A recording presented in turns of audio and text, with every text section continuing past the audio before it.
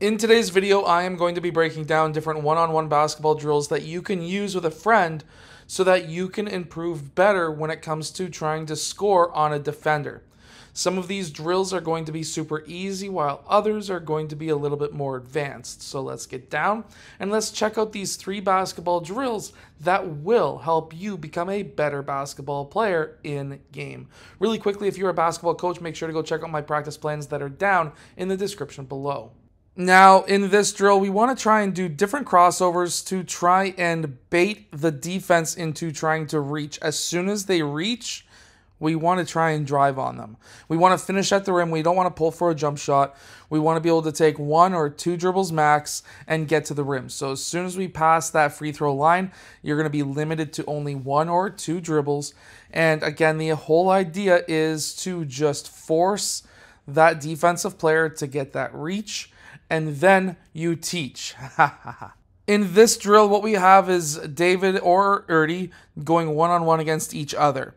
And the idea here is when I pass the ball out, the defender chases and defends the player on the perimeter. However, when I am passing that ball out, I am yelling shot or drive. If I yell shot, you have to create your own shot, either shoot right away or take one or two dribbles to get a shot. Or if I call drive, you have to get to that rim and score one or two dribbles, no more than three to get your ability to score. The idea here is you need to not always know exactly what you are doing before you get the ball. However, when you are faced with a defender and you have in your head, because we all do it when we're players, which is I'm driving this next time I get that ball, I see the angle. Well, guess what? What happens if that angle is cut off because you were originally going to drive and now you're not? Well, if you are already dedicated to driving that ball, you need to figure things out. So, by having somebody else pre plan what you're supposed to do, you now need to become more creative in the in that scenario. So by becoming more creative in practice as we are right here, you're going to be more creative in game as well. Now in this last drill, this is going to be a quick cut drill. It doesn't have to be a V cut, it can be an L cut, backdoor cut, whatever, it doesn't matter. But either way, you need to be able to get yourself open and then you need to either take that shot or you need to score as David does right here on Erdy.